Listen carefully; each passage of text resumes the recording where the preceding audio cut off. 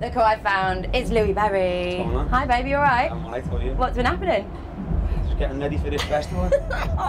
So everybody that I've spoken to here, all the artists backstage, it's you that they're really looking forward to seeing. Yeah. Your your name has been the one that's come up the most when I've said who you're sticking around to see. Like, do you feel like there's more pressure, or is it just like you're pretty chilled, aren't nah, you? It's rock and roll, innit? You know what I mean? It's what I'm gonna give them. Yeah, and you're on in a bit. You're on in a couple of hours. What do you do before that? How do you prepare? Yeah, you know what? We do a little bit of physical warm ups and all that. Do get the you press ups going, a bit of jogging and all that, yeah. Mm. Obviously, you've got to warm your voice up. in Yeah, case you of break it and things like that. Yeah, yeah, yeah, yeah, Apart yeah. from that, we're just kicking back, you know what I mean? Are you going to be going down to the beach? You're going to be going and Do you know what? There was talk of me going surfing today. Really? One of the lads from the band Sunset Sons. I'm good friends with them and all that. I think you're a bit too cool to go surfing. you I can't surfing. imagine you down there. I there. don't the weather. I don't fancy it with the weather, you know what I mean? Board shorts or speedos? Yeah, nah, shorts. shorts.